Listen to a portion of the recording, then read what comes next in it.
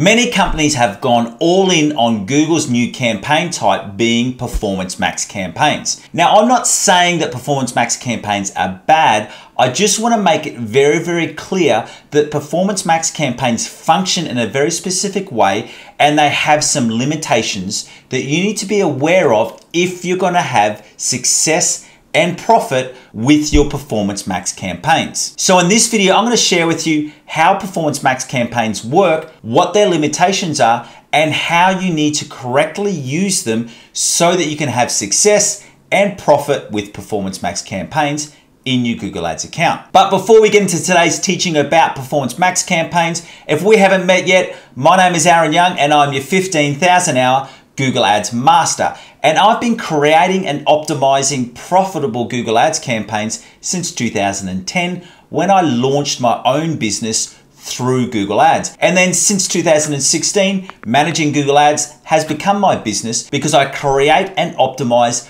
profitable Google Ads campaigns for multiple brands from all over the world. And in this journey, I've learned valuable lessons about how Google Ads actually works and how you need to set up and optimize and structure your Google Ads campaigns in the correct way in order for you to be able to make profit with Google Ads. Because unfortunately, it's not as simple as just setting up a Performance Max campaign and letting Google do all of the work. You need to make sure it's set correctly. And that's why I've actually set up my Google Ads 10x community. And this is a community where I share live monthly teachings, which are advanced teachings which I don't share here on my YouTube channel. And also I run group coaching and live Q&A calls. And this actually gives you an opportunity for you to ask any questions where I'll answer them in real life examples. And then finally, you've got a 24 hour Google Ads community where you can jump in and ask questions at any time and have people from all over the world answer your questions and give their own experiences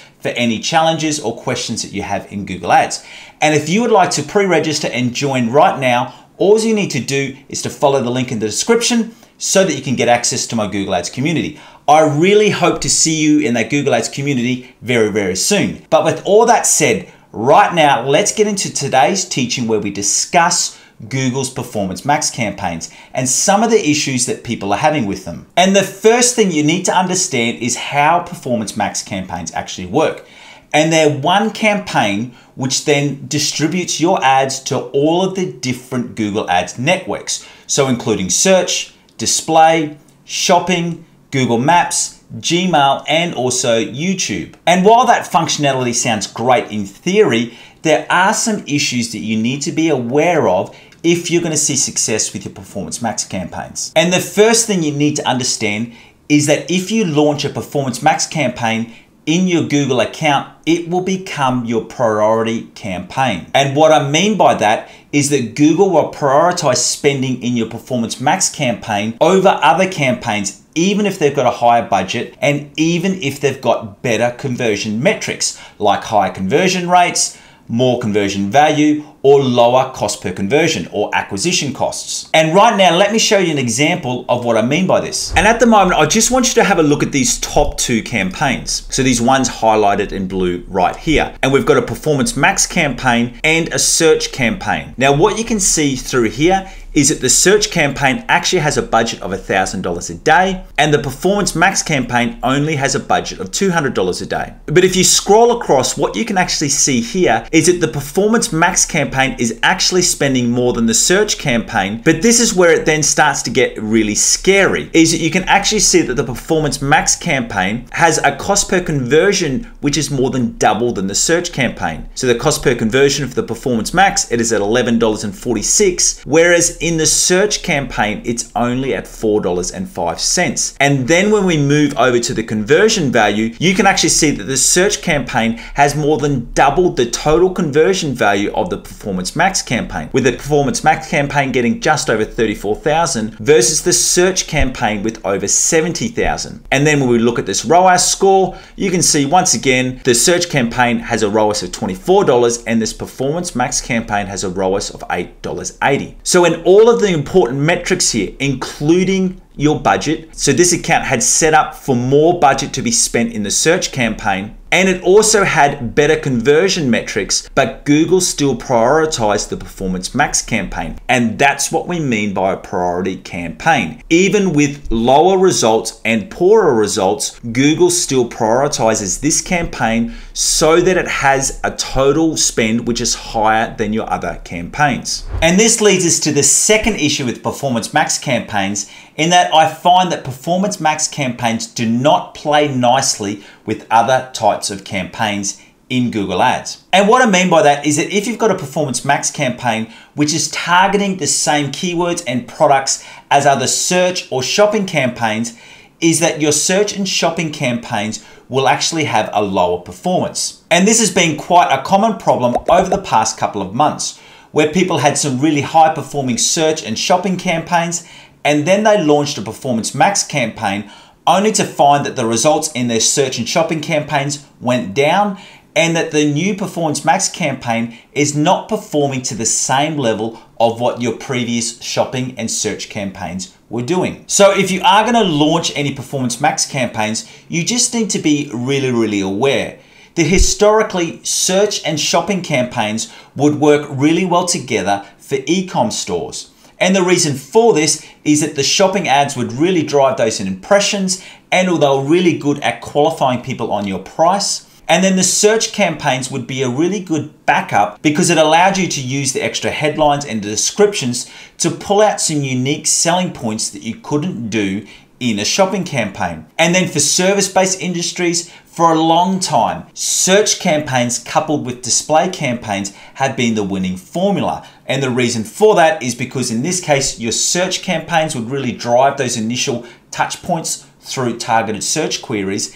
And then after that, you could remarket or retarget those users through a display campaign, allowing them to continue to see your ads until they complete that conversion action. But that doesn't happen with Performance Max because as I said at the start of this video, you need to remember that Performance Max is an all-in campaign, meaning that as soon as you press go on that campaign, you've got search, shopping, display, Google Maps, Gmail, and YouTube all working. And as I showed you in the example before, with Performance Max, it takes the priority spot. So if you've got some really good performing search campaigns, they will be overtaken and prioritized by your Performance Max campaign. And then leading into this, which comes to our third issue with Performance Max campaigns, is that they are a smart campaign in that Google has control and not you. Now, historically, I haven't been the biggest fan of smart campaigns. And the reason for that is because I've always found that we've got better results through the Google Ads Manager being able to correctly optimize and also add in extra negative keywords or exclusions for parts of the campaign that aren't performing well. And smart campaigns just did not allow you to do that. Now, Performance Max campaigns do have some elements where you can create some ad copy. You can also add in specific images and videos to help your campaign. But where it lacks, and this is why it's still a smart campaign, is that you are not allowed to add in some extra negative keywords and you don't even see the full search term audit, so you don't even know all of the search terms which your ads are appearing on, and you can't even exclude different audiences. Now, I know when it comes to audiences, most people would just be using the observation method, but even with search and display campaigns, even if you're using the observation method, you can still exclude certain audiences which you know are not performing well, whereas you do not have that option with Performance Max campaigns. And then on top of this, when you do create your asset groups in Performance Max, yes, you can add in some different keywords that you want to target. However, these are added as broad match keywords, meaning that your ads could appear for any related or any similar search terms which Google deems could or potentially could provide you some conversions. So this means that your keywords could appear for search terms that include the words free or include the words discount codes or cheap, words that you know are not the type of keyword phrases that you want to be targeting for your Google search campaign. And Google doesn't hide this fact. They do actually make it very, very clear when you do actually go through and set up your campaign, they do give you that disclaimer. Once again, it's in a green box I think it should be in a red box as a warning, letting you know that even though you've added in this targeting of keywords and audiences, Google will go beyond your selections to try and find some more conversions. So now that you know the three core issues with Performance Max campaigns, if you do want to start these campaigns, and I do actually agree that Performance Max campaigns can be a successful addition to a profitable Google Ads account. And in fact, I'm rolling them out across a lot of my e-com store campaigns that I'm running. However, I do need to make some things very, very clear.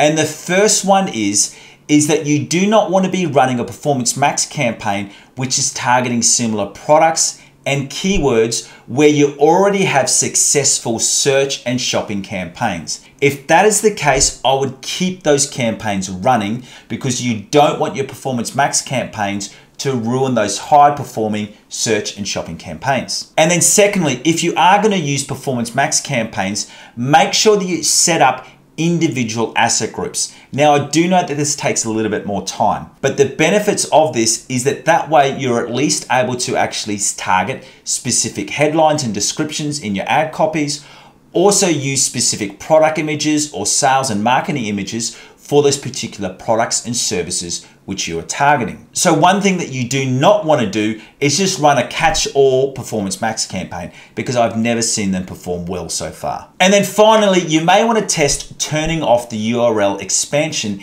in the settings section of your Performance Max campaign setup. And what this actually does is that this stops Google from going through all of your website and testing out different landing pages which you know are not going to be successful. And while I'm yet to confirm this, it will actually help to limit some of those unrelated keywords because Google is not bringing in the headings and the titles from all of the pages across your whole website. Now that you're aware of the potential issues with Performance Max campaigns, if you would like to learn more about how you can actually optimize Performance Max campaigns, I want you to go through and watch this video right here or if you want to make sure that you've actually set up your Performance Max campaign correctly, I want you to go through and watch this video right here. Once again, thanks for joining me and I'd love to see you in my Google Ads 10X community, which you can pre-register and sign up right now by following the link in the description. See ya.